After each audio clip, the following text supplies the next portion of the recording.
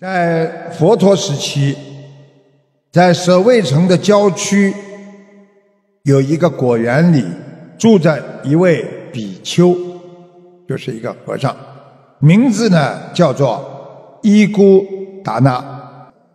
这个伊姑达那比丘呢，他只能熟记一首佛陀所教的偈颂，也就是偈语。但是呢，他彻底明白了其中的道理。每次他读完这首偈颂，果园里呀，虽然没人呐，但是那些树神啊，就热烈的鼓掌和称赞。这就是你们看不见、听不见，但是有功能的人，古时候有很多人都有神通的，他们就能听见。有一次呢，有两位博学多闻，并且常常说法的比丘，这两个人到处去说法，他们带着一群徒弟经过这个果园，他们就问了：“啊，伊古达那啊，这个比丘。”啊！你在这么偏僻的地方说法，会有人来听法吗？这个伊古达那很老实啊，他就说：“呃，果园的树神，呵呵，他们听了我讲的，还都会鼓掌称赞的。”这两位比丘啊，心想：“你在说什么？”啊？他们就在园中。哦，既然你说树神会，那么我们也来讲讲看。哎呀，在园中说法，在这个果园里边说法。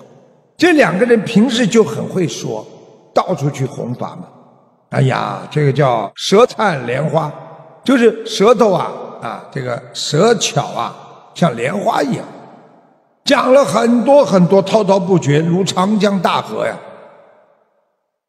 所以过去为什么人家说这个人讲法讲得好啊，滔滔不绝啊？你看看长江的水啊，或者像江河海水啊，一浪接一浪，它不会停掉。那么讲得很好，讲完之后呢，没想到果园里啊，静悄悄，一点声音都没有，连树叶落地的声音都没有，没有声音的了。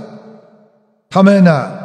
一想，哎呀，你不是说树神会鼓掌吗？那么怎么没有啊？来来来，呃，伊姑达那法师，请你来说法吧。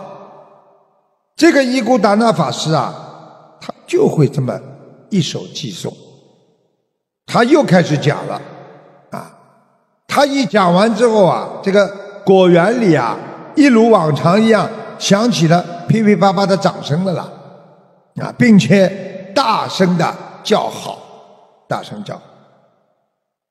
这个时候呢，这两位比丘的徒弟们呢，他们就也听见了，因为过去的这个比丘啊，都有一点神通的，他们觉得这些树神啊，有些偏心啊，啊，你看对伊古达那怎么这么好，他就讲了这么一点点。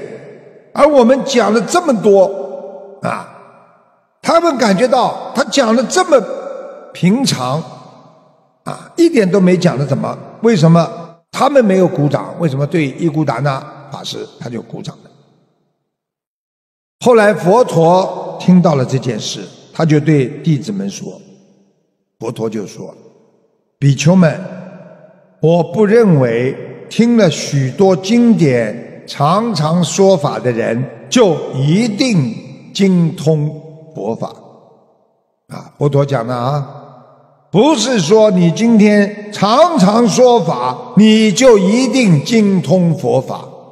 相反的，虽然听的不多，但是呢，却能体会真理，就是理解，而且经常保持正念的人，才是真正精通。佛法的人，啊，精通佛法的人，所以从佛陀的开示，就让我们知道，佛法的核心在于你要亲身体证啊，就是师傅跟你们讲这么多，你们自己要去体悟的呀，啊，师傅叫你们念经，念了吗？念了之后好不好啊？好，有效果吗？有，这叫体证啊！啊，你们看看，每一次法会前面有很多佛友上去做心得，都是他们的体证啊！你看他们讲的这么好，自己家里的亲人怎么样身体变好的啊？师傅又不知道这些事情，所以他们亲自体证的，能够让台下啊。这么多的观众一起鼓掌，啊，感恩他分享，所以就是让我们知道，学佛人要保持觉性，要活在当下，也就是说，要真正的能够理解佛法。实际上，你就是在行佛。你念了再多，你什么都不懂，你没有受用啊，你没有。让这个佛法让自己受用，所以很多人经常打进电话跟师傅讲：“师傅啊，我念了几千章啊，你用心了吗？你有感恩心吗？你有体悟之心吗？